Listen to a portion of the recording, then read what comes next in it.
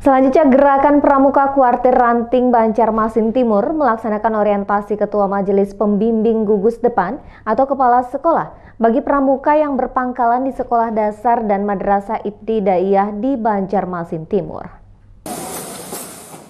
Guna peningkatan kompetensi pembinaan di gugus depan, Gerakan Pramuka Kuartir Ranting Banjarmasin Timur melaksanakan orientasi untuk Ketua Majelis Pembimbing Gugus Depan atau kepala sekolah bagi pramuka yang berpangkalan di sekolah dasar dan madrasah ibtidaiyah di Banjarmasin Timur.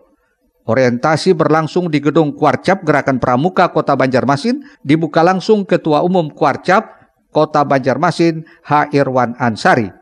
Dalam orientasi ini diisi tentang bagaimana tugas dan fungsi pembina dan mabigus serta tentang bagaimana sistem pembinaan terhadap pramuka siaga, penggalang, penegak, dan pandega.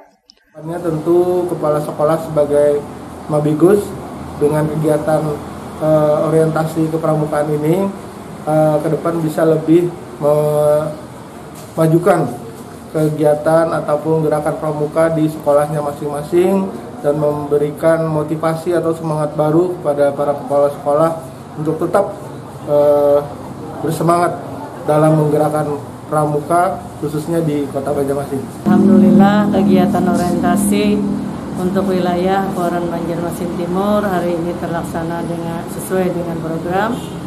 Uh, peserta dari 41 uh, Mabigus dan MI sebanyak 7 MI di wilayah Banjarmasin Timur alhamdulillah hadir.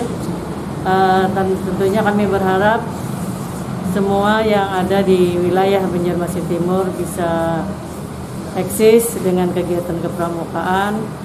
Uh, tadi juga disampaikan mulai uh, prasiaga yang akan disampaikan nanti dan untuk Banjar uh, eh, SD di Banjarmasin Timur uh, lebihlah kepala, kepala sekolah menguasai materi tentang undang-undang kepramukaan tentang uh, prosedur uh, kepramukaan sehingga mereka lebih tahu apa-apa saja yang diprogram oleh pramuka dengan kegiatan yang ada di sekolah yang sudah diprogram di sekolah.